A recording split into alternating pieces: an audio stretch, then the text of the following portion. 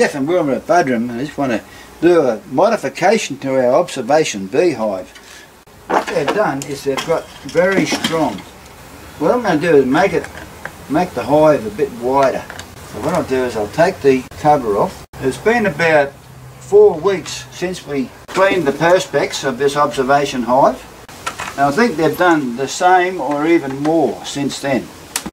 After having this observation hive, I've come to the realisation that you could start a hive off with just one frame of bees and a queen at the start of spring and, and I'd say by the end of summer you'd have a really strong hive. This is the side got the least amount, the other side's got a lot more. I'll take the other side off. This is where Wilma's going to go wow. Now my bee suit is in the on the clothesline drying and my gloves. So I'm going to try all this without any uh, protection. So that's why I'm going to use the smoke. Have a look at that. Boy. That's in the last four weeks they've done that, all the way down to the bottom. Look at that, that's incredible. I'm sure that's more than the last one. And now take the lid off. Have a look at that, see what's down there? Beetles. They hide in all those little nooks and crannies. But they don't worry me. A lot of people lose sleep over small hive beetle, but I'm not one of them. They never, they don't worry me one iota. All I do is squash them when I get a chance. Now have a look there. Beetle everywhere.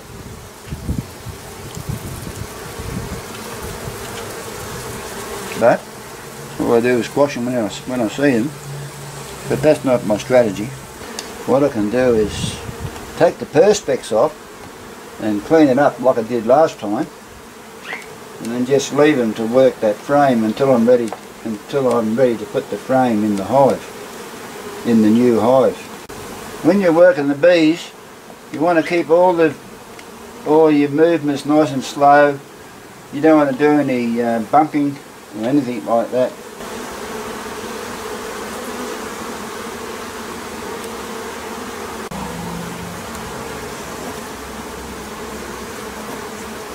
And I'll put this to one side. Have a look at that brood. Isn't that beautiful? So I'll stick it over to one side. Even though the bees can go straight to the frame, once I turn the entrance around, you'll probably find that they'll go through the through the hole. they'll go through the hole, even though they can go straight to the to the frame. The, the creatures of habit.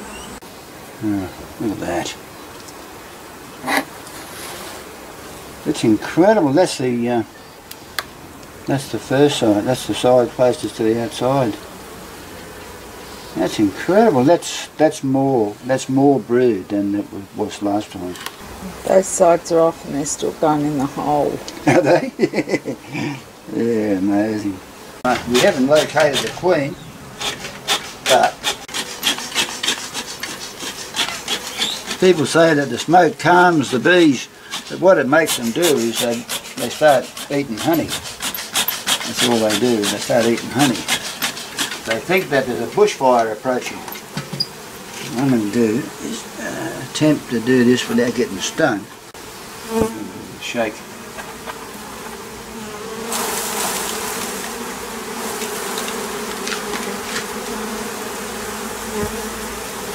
You're a brave, Wilma.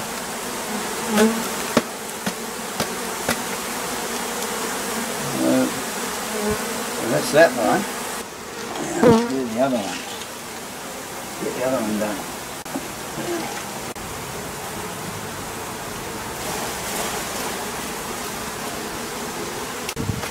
Are the ones coming home still going in the hole? Yep. it's amazing, isn't? So we can just leave them like that. They'll be all right there till we get the box, uh, the other box ready. So we're just, just tying, tying these, this brood. We just managed to get all the brood to fit on one frame. Had to cut a couple of little pieces out off it. So let's see what happens when we stand it up. This one's not going to make it. I think it'll So Yeah. what we've got to do is, Oh. uh, what we've got to do is get it into the hive in one piece, and then the bees will do the rest. I've weakened this hive out quite considerably uh, in the, the last month or so because I don't want it to swarm and annoy the neighbours. So we made a video about this hive a couple of years ago and the title is This Tiny Swarm of Bees That Just Turned Up. Uh, you can check this, that video out. You'd be amazed at how much brood I've taken out of this hive to weaken it so it won't swarm. And I've taken a fair bit of honey off it as well, just quietly. So I've just released it from the Uh, that's the one. So the brood is all hatched out and so there's so I have no problem leaving this one out. I can just leave it out and Is that the one you set in there last time? yeah, this is the Oh, one okay. that, the brood that we put in last time. So there's no brood in there now. So that's all hatched out. What I'm going to do is put the other one in its place. So what will happen is the bees will nurture this brood and look after it until it hatches out. And that'll just help to strengthen this hive a little bit. We're lucky that there's no storms around and the weather's good and so we're getting away with doing this without getting stung. At the bees, they settled on that frame beautifully. There's about three layers of bees on that frame. But what they're doing is they're keeping the brood warm because they're exposed to the elements. Um, they need to be able to keep that brood at a constant temperature. Here's my new box. I've made it uh, three frames wide.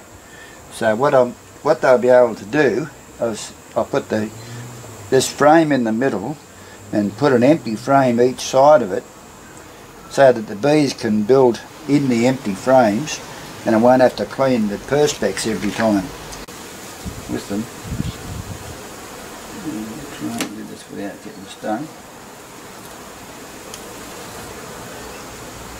And the idea is to stick that in there without upsetting them. So I have some empty frames that have previously been used with uh, wax on the top so they'll just build straight down or that. So now I'll put a couple of screws there. Um, the idea of the screws being I'll put a screw on each side with the idea that in transport they won't uh, wobble around and bang against the perspex. Oh, that looks good, doesn't it? Yeah. So you can see what goes on in there once they sort themselves out. And I'll just set that on there for now until I make a new lid tomorrow. I've got my cover to put on this side as well. Okay, thanks for watching and we'll catch you later. Bye.